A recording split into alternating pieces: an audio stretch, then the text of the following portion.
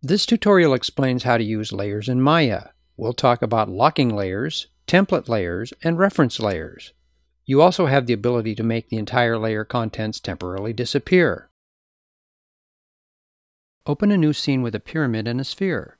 Each object should be on its own layer. For more information, see topic Adding Objects to Layers.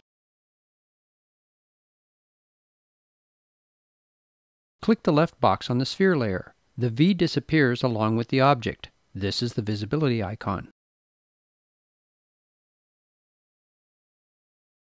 Click the box again and the object reappears.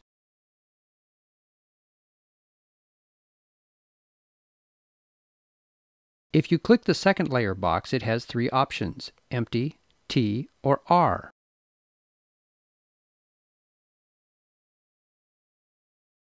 The empty setting is normal. T indicates a template layer. Template layer objects are ghosted. Objects on the template layer display in the workspace but do not appear in your final render.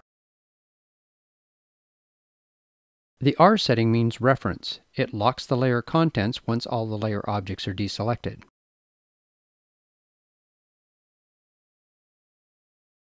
The final layer option box is used to access the Edit Layer dialog box.